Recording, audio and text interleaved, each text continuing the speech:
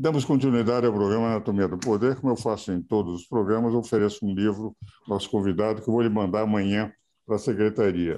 Esse é o livro que eu escrevi antes, chama-se A Era dos Desafios, procurando 12 grandes desafios que a humanidade terá, é, analisando também a evolução rápida da espécie é, Homo sapiens, considerando todas as outras espécies de vida desde que apareceu sobre a Terra, para mostrar que nós vamos com uma rapidez fantástica melhorando. A história narrada de 6 mil anos atrás, que não é nada, um relógio de tempo, os dinossauros viveram 160, 150 milhões de anos, isso não representa nada o que, nesses 6 mil anos de história narrada, escrita, não estou falando antes, Cromagnon, etc., a evolução da humanidade, chegar a declarações de direitos, o direito constitucional, etc., uma evolução fantástica. Eu procuro analisar, mas analisando os desafios, e vou lhe mandar o livro a semana que vem.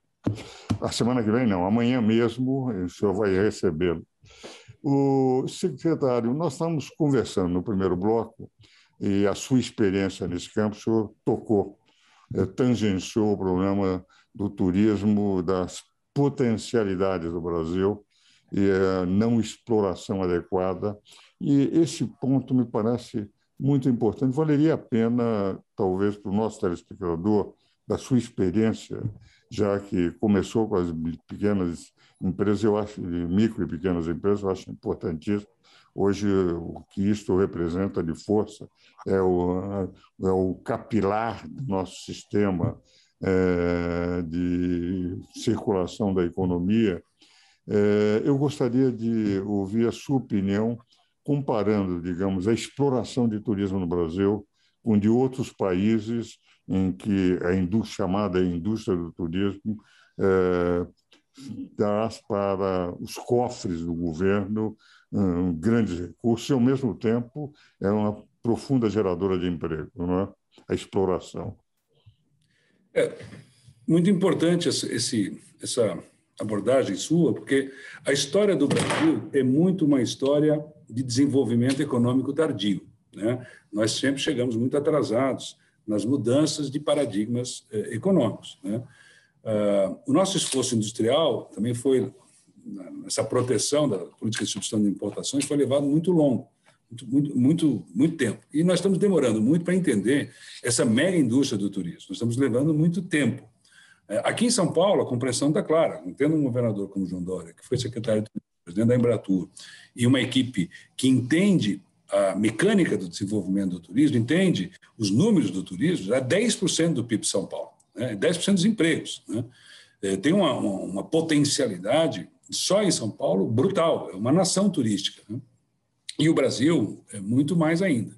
Então, não há dúvida nenhuma é, de que é, a compreensão do fenômeno econômico tem que evoluir.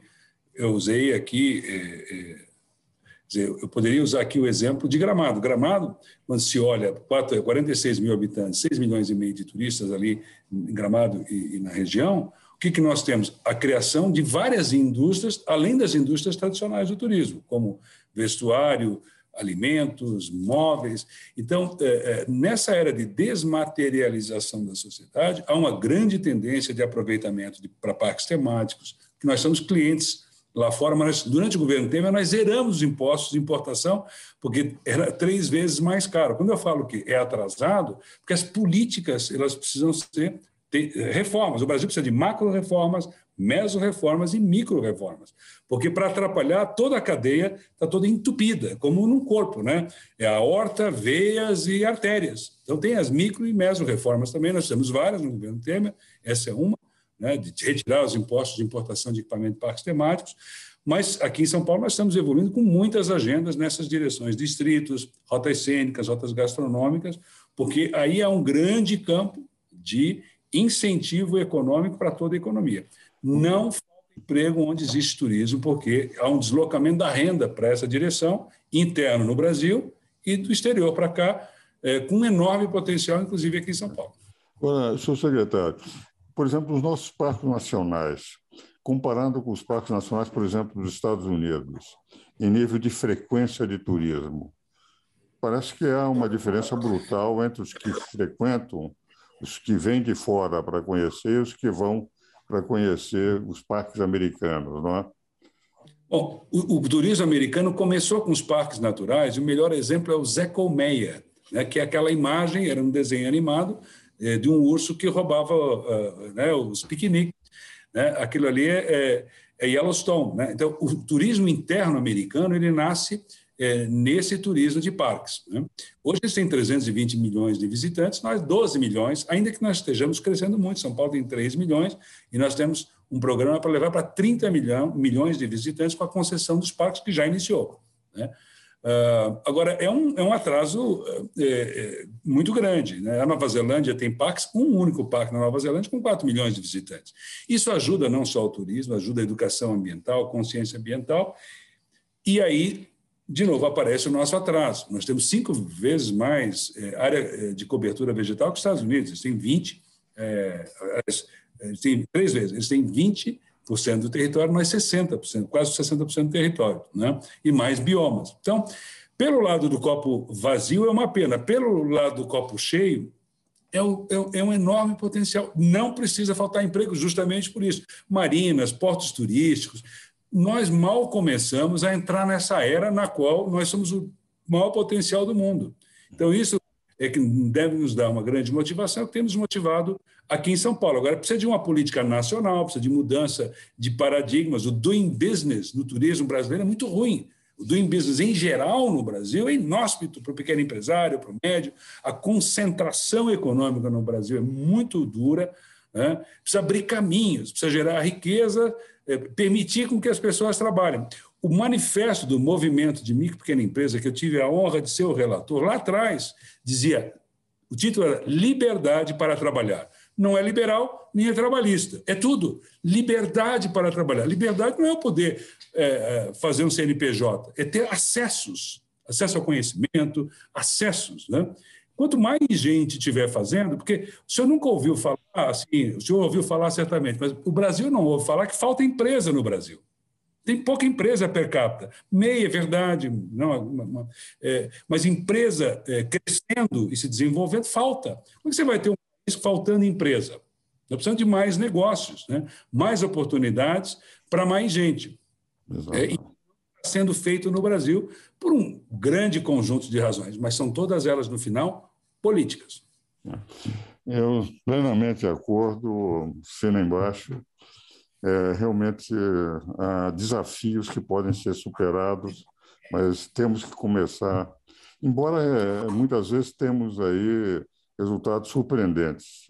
Me lembro, há 20 ou 30 anos atrás, nível de agropecuária, nós exportávamos, mas não podíamos nos comparar aos Estados Unidos. A França não tinha preocupação maior, porque dominava completamente a Europa, por ser na, na União Europeia o país que mais fornecia. De repente, a nossa agropecuária hoje ela se nivela as melhores do mundo, se não for a melhor do mundo, ultrapassando os Estados Unidos. A França hoje luta contra a questão ambiental no Brasil, mais por uma questão de não querer que nós continuemos invadir os mercados que pertencem a eles e que eles perderam porque já não tem condição de competitividade. Agora, senhor secretário, nós estamos chegando no final do programa. O senhor conseguiria, em dois ou três minutos, dar um panorama de como é que o senhor vê no momento o momento político brasileiro? Se há mais alaridos eh, em relação aos conflitos brasileiros ou realmente se houver uma real crise? Porque São Paulo vai indo bem, nós estamos sentindo que diversos segmentos da economia vão, como agropecuária, infraestrutura, etc., mas o diálogo entre os poderes lá em Brasília não está sendo é, aquilo que nós gostaríamos que fosse entre os, a harmonia e independência dos poderes, como está no artigo 2 da Constituição. Como é que o senhor vê Bom, eh, em pouco tempo não é medida fácil diante de um tal entrevistador, mas, assim, sinteticamente, eh, a democracia não é um fruto natural da nossa história, é um desejo nosso, é uma vontade nossa. É um desejo, é uma vontade. E a única vontade, talvez ao lado do Chile, do Chile nos tempos atuais, é uma, um desejo, uma vontade. E ela luta contra é, o nosso histórico de populismo na América Latina, uma falta de maior articulação de responsabilidade. Eu me pauto aqui em Mosca e Pareto, né? teoria do establishment, a responsabilidade das elites. Né? O sentido de responsabilidade de todas, elites em todos os sentidos, em todas as áreas. Né? Ninguém se considera responsável pelo Brasil no nível necessário para o tamanho desse desafio. É, alguém é responsável, alguém é. Né? E, nesse momento, está, vai faltar muito isso. Por isso, nós oscilamos entre extremos de esquerda e direita. São varguismos, é, com perdão da palavra, peronismos de uma outra matiz, mas são isso, agravados esses populismos históricos que nos assolam historicamente, por uma diferença de renda, uma falta de um sentido comum, e eu vejo muito isso aqui em São Paulo. Os empresários de São Paulo doaram 2 bilhões para o governo de São Paulo para ajudar na gestão da crise. Isso é um sinal de evolução, de participação, de envolvimento que o governador João Dória conseguiu. Mas, assim, é, é, o Brasil ainda é muito mais uma aventura do que uma colônia. Né? Eu venho de um estado de colônia, Santa Catarina a aventura. Né? É, e, mas nós queremos outra coisa. O governo Fernando Henrique foi muito isso.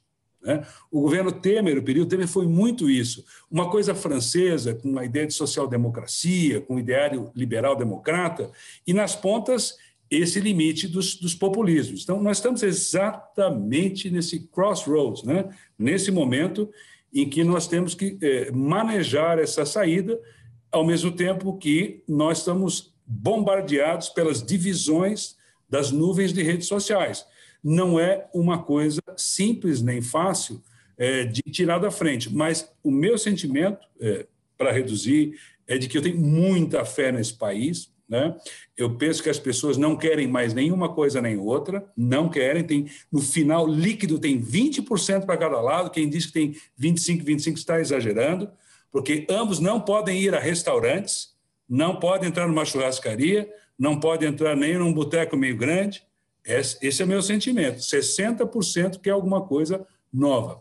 E eu vou lhe dizer francamente, aqui em São Paulo, nós estamos fazendo um trabalho, a economia não para de crescer, vai puxar o Brasil para frente, né? É, é uma gestão moderna e eu acho que vai ser. Observa, dou dois, dois, dois exemplos. São Paulo tinha 250 escolas de tempo integral.